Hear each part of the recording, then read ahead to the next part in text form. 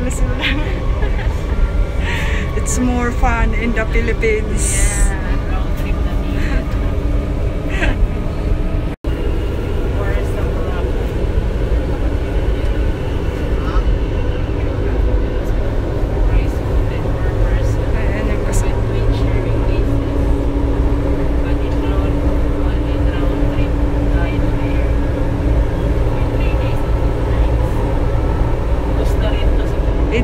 Ah, hindi siya traffic.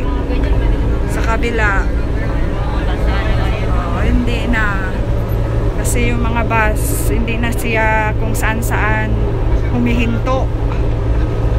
Ayun oh, sidewalk clearing operation.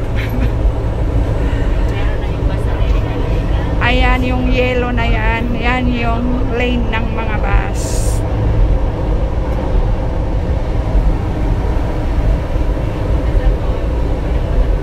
Yung mga provincial buses hindi na pwedeng dumaan ng EDSA, no?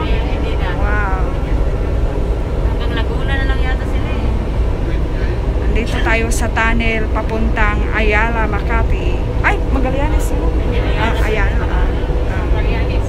Magallanes na. Dito. Pinar ba tayo? Ah, Pinar tayo.